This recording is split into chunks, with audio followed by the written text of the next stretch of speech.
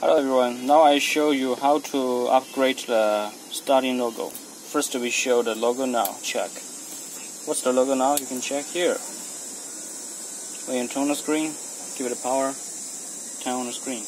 Wait a minute. This is this is not the this is the boot logo, not here. The after starting logo. Here you can check is the AMG logo. AMG, remember. And uh, we have copy the Benz logo in the USB card. Connect to our USB port, and then where to go? Click apps. Okay, click apps, click setting, and uh, find the general.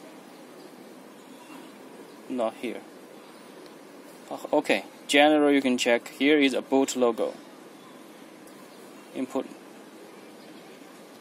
this is the code and you can check we just choose the this one. So the first uh, view the image you see is Benz okay. And uh, go back. Find the software version. Click here the setup logo the label and the code is one two three four five six seven eight. Click OK. Here is Chinese but ignore it. This means the starting logo. Click it you can check it restart by itself. During the process, do not do not power off. Don't do don't do anything, and just wait. This is the boot number, boot logo, and you can check now. It changed to the Benz logo.